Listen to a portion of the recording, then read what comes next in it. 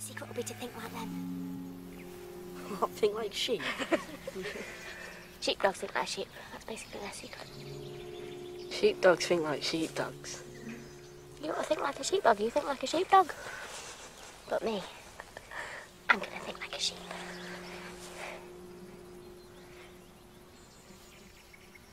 You're looking at me like a sheepdog now. You can stop that for a start. No, I just. You ready? Be a sheep? You bet. Three, two, one. Go! Go that way! Get that one! That one, Olivia!